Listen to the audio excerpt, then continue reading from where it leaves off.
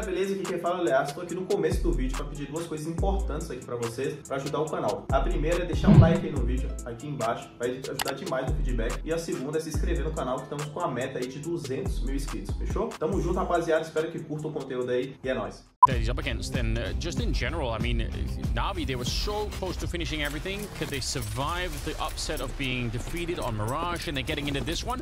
What we've seen from both rookies. Yes. Head trick two, doing well. And Rez, he's going to have to come up.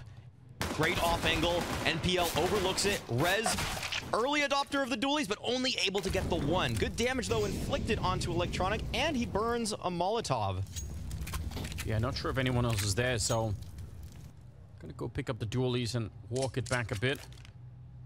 Simple has the P250, and he's at a point in the map where he's at a huge range. So if anyone's peeking any of these positions with a USP thinking they're gonna have it... Ooh, he saw that, and even the Glock. You catch someone looking the wrong way. Brollan trying to play for the team, trying to get the information, and it blows up in his face. That's unfortunate. Three versus four now. And look at who's sneaking out on long. It's headtr1ck to try and sort of do what Brollan was doing, but Maybe with a little bit more success, it looks like he's going to be able to stab them in the back, potentially. Oh, yeah. This is a great timing for him. s1mple might be caught unaware. Nades being thrown, but no, s1mple. Always ready. Even when it feels like the timing shouldn't be favorable there. It's actually causing a big rotation. NIP, they're the ones that are being toyed with in this round. Electronic is deep with the dualies. Hampus caught off guard. Aleksib in the one on four, and he doesn't even know what bomb site this is headed to, and he doesn't need to know. Positions. So it is. I, I yeah. I don't. I don't hate it either. I think it's fine. Yeah, some of the, the ways that people appreciate Vertigo is for all the little tricks. And Overpass has those tricks, but you're actually looking for map control in more than one area. Yes. So that's that's like that's nice, given that it's not as one-dimensional as just let's get ramp almost every single round. uh, overpass has so many points of emphasis that are important. Short A, con, water. You want to use any of those to unlock the middle of the map. And I think I just think that the the flanking rotations for TTs are also very fun to watch, uh, and how hectic those those post plants can get. Also, it's one of the only maps where there's so many just micro changes in elevation. So truly yeah. great aimers truly are, are going to benefit so frequently. And I would put b1t in those likes. When he switches to the CT side, all of those little just ups and downs, those divots, those valleys, he's so great at just the micro adjustments necessary to still what they want to use the, that flash for. Okay, wait, they're actually swapping nades around. And it looks like Perfecto's going to be the one that has to bear the utility Few players, though, from NIP waiting, and they actually aren't mollied out of position just yet. b1t pressing on forward, swipes down Aleksib. That's incredible to peek that deep into long. I, I, can't believe he expected that to happen. And there we go. s1mple holding the flank, taking down Hampus, and Brez is a mile away from this one. Open for them. And so this is where Overpass gets interesting. When the CTs have this sort of control, there is a lot that they can do, but oh, if they're dead, there's not much. That was the M4. They can pick it up, but still, what a crisp shot coming out there from NPL. Long range to try and find it. We'll see. Hampus going to get checked, but he's good for the one and very nearly the double. He's one health left on Electronic. That seems unfair. If Hampus would have found that one, he can probably even escape behind it, and it's a very, very different round. That M4 still being sought after by a couple of players on the NIP side. Good return kill. Still a 2 on 3 and almost a 2 on 2 with the fact that Electronic is, I don't know, fresh breathe away, uh, breeze away from dying. Just a little bit too much wind and he's going to fall over. Yeah. Brollan and headtr1ck. What could they do here? I think they're being shut out of the round already. Molly's there, smoke towards the jump up. This will be a fifth round for Navi. And when I was prefacing the game in what NIP's strengths are, I solely highlighted their T side. We're not seeing it, obviously. Even though they won the knife round, they're picking CT. I can't really blame them for that. I think that's pretty typical, all things... Ooh, oh, wow. Scary stuff. But he is going to be fine. So will Electronic. 5 and 0. But no frag yeah. in either direction. So pressured behind this with Perfecto holding the pillar on the other side. No counter grenades really coming out from the NIP side. They can't slow them down. And Lexi, he was flashed the entire way through. Even though nobody was looking at him for about three seconds, it didn't matter at the end. And I think the fact that and the fact that Na'Vi are allowed to set up at the X Ash was just on those NIP players, just nothing they could do. It's it's a lot easier if you run into a bomb site and you just essentially uh, use echolocation to figure out where they were. Did he see that? I think he did. Yes, definitely did. But the flash there is actually going to alert Brollan to b1t's presence. That's very nice. And it does look like NIP found a way to win around here. Two-man advantage. Brollan backing all the way up. Wants to make sure that he doesn't die by his lonesome. And with 40 seconds left and just a couple of smokes, Navi I think they're forced into this. It looks like they're going to have to go for it. Oh, man, Brollan, even though s1mple was being boosted, he nails him with the headshot. Perfecto, he hears them doing significant damage, actually takes down both, but it just seems like the bomb is so far away. 20 seconds. I don't think you can make it at this point. This is going to be a round victory for NIP. Yeah, it definitely will. Only real question is if they want to fight to do a little bit more damage or just leave it at where it is. And it feels like already they made that choice. So Plenty of money on the side of Na'Vi, but good job for NIP. It's, a, it's an interesting scenario. I think that's worth highlighting what you mentioned there. It, without the flashbang, Brollan has no idea that someone's walking long. realistic bit. I, I would love to say six. Yeah, I think NIP need to hit six to have a chance in this one. But they definitely have a chance. With Brollan playing this well, they don't have to worry about one side of the map too much. Oh, They're no. making an aggressive play through towards the monster smoke. They want this information so badly, and it goes punished. But Electro, or headtr1ck that is, is able to find one in return. That looked like it was going to be an absolute disaster. They could have all three been sprayed down, it almost looked like, but Rez gets to live and they get a return kill, so a little bit of fortune favoring NIP at the end of that battle. 27 seconds. Definitely going to be a B execute this time. Brollan is scarily close on the other side to being down connector. He can be there so fast, maybe faster than Navi would want, so I'm not surprised if that's what ends the round. A missed flick here from headtr1ck, and he's isolated behind the pillar. He can't escape. Brollan's trying to get there, but they need to slow this down. Rez is going to get dropped, and Hampus in the water on his oh! own, and there we go! Hampus and Brollan taking just... the angle up for the restrooms, this time with no flash, so just going to go check it. Not finding anyone just yet. And it feels like as soon as he did that, you could see it called something out and then just ran to pick up the bomb. okay, oh. that is a peak. Electronics to take down Rez. Oh man, that's brutal. Three people the B bomb site, but now only two left as Rez goes down. So this defense is stretched really thin. What a nice peek from Hampus, but it still leaves Alexi alone. The rest of the team are scrambling to get here. He needs some help right now. A double as he sprays them down. NPL and b1t doubling up on each other, and it buys the time. Sniper being wheeled in on the high ground in headtr1ck, and s1mple going straight for the bomb plant, but they're already on top of him. Brollan, nice move to isolate that position and lock s1mple in this is not always the easiest spot. Not not the most options necessarily, not the most you have to think about, but it's just such a pivotal fight. And Brollan, he'll be the opposition this time around, and uh, that's why it's dangerous, because if you lose this now, Brollan has so much to work with. He can rotate in so many different ways, and it, it costs so much utility now to try to unseat Brollan. That's the big problem now for Na'Vi. And they're focused on that. Hampus sneaking in. Electronic is so aware that is a nice pick-off, but otherwise, strange off-angle to be fighting a lot of the time. Brollan still looking down there. They're well aware. They know that he could be. They're going to be having eyes on it. s1mple heads-up play, and they almost get shut down. Rez could have had a multi-spray down. Two versus three instead. Alexi and headtr1ck to try and keep the streak going for NIP. It's been looking good so far, but if they let Navi into the game once again here, this first half is still very questionable for them. Alexi, he was good for a double last time, and he's going to do it again. It's simple. Bitk actually got the headshot. Out on long. Defending the baguette. Oh, oh, and the spam right through, just not even needing to check it. M4 is gone, and that's got to feel frustrating. Electronic, that's a that's a bit too much speed. Knife out the whole way walking out of the site.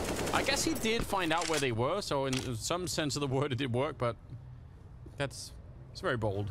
See, that's something I would expect from uh, a couple other IGLs in the space, like you know, like a karrigan, maybe an Apex, but Electronic, you, you want to have his gun out. Yeah, definitely Apex, actually. Um, Especially maybe playing against a team that has the kind of firepower that Navi do. If you win or lose those battles, it might be all over. And here's one of the fast plays you mentioned earlier, one of the few ones that's available on this map. And so far, they've traded evenly. There's still two people on the bomb side defending for NIP, so they're not really through. They haven't punched through the wall yet, Navi.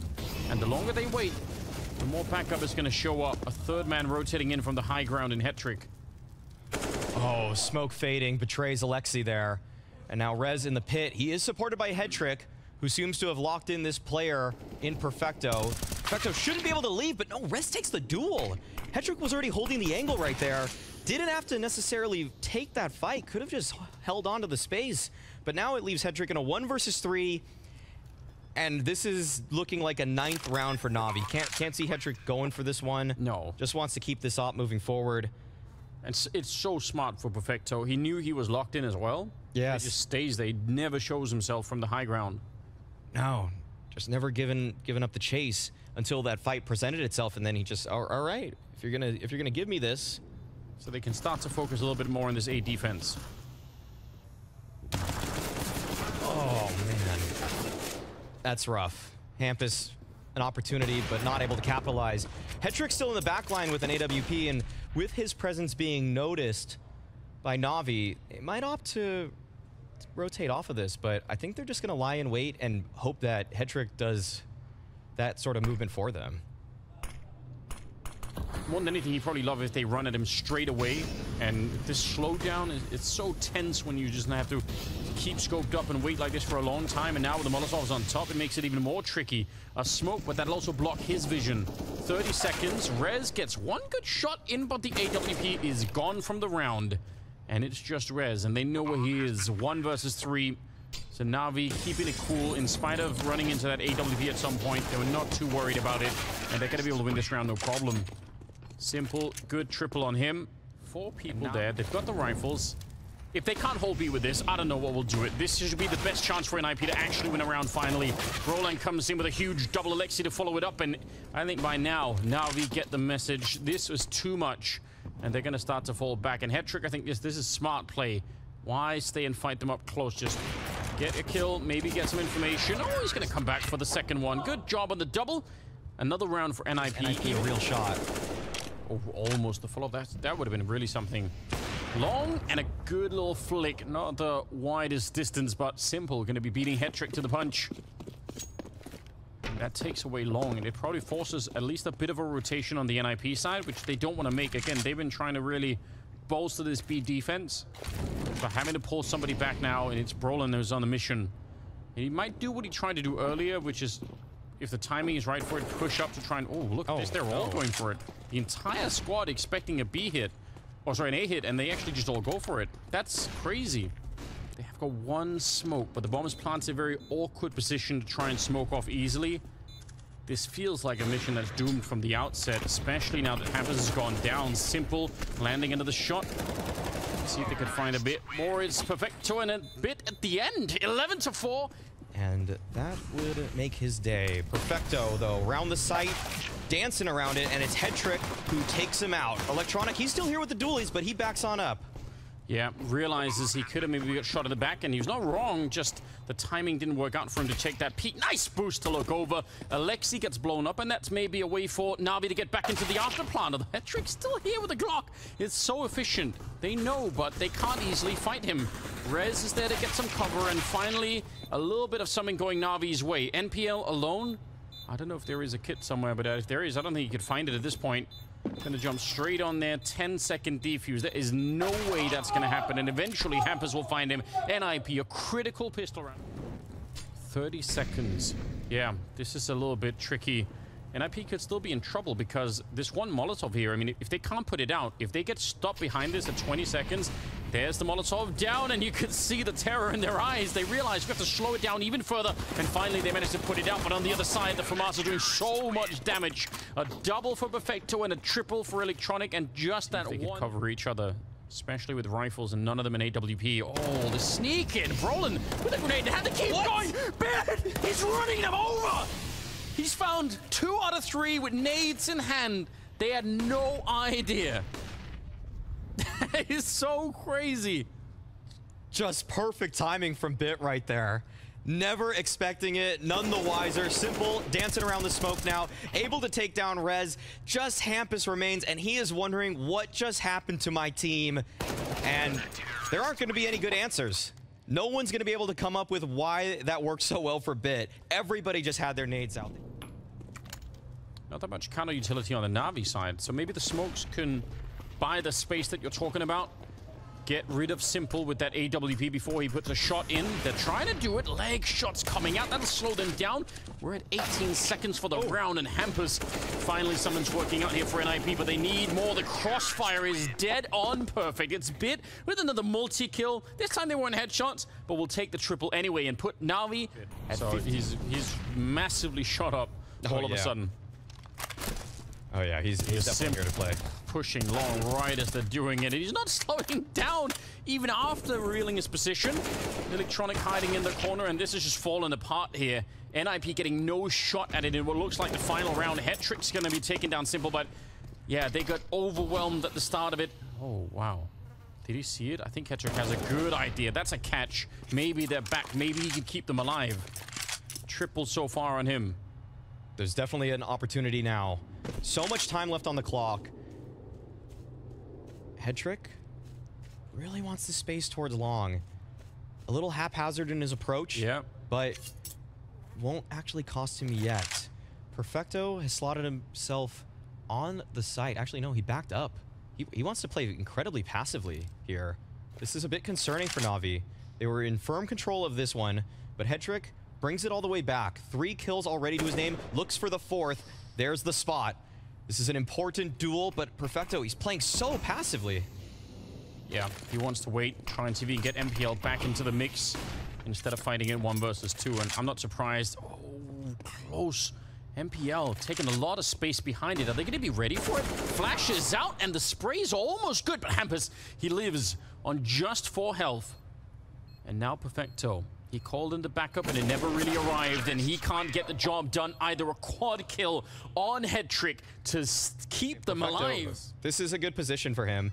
And even though things got a little bit chaotic in the last round for Na'Vi, I think things have really settled for them. Perfecto will have an advance warning on this approach from NIP, and it's more than just a warning, it's two frags, and he's able to survive too. Oh no, NIP, I feel like this might be it for them shooting them right in the little booties. Alex, they just their toes blown off one at a time. That's a horrible image. Brollan and headtr1ck, 2 versus 5, 20 seconds left, and trying to breach the B bomb site. It looks impossible, and it is. 16 to 8 it's Na'Vi to bring down NIP, but not without a struggle. NIP with a new lineup and definitely looking interesting, but Na'Vi, they still have that core strength, and today, they're rewarded for that. Yeah, and we could see that really worked out for them. The strength of their riflers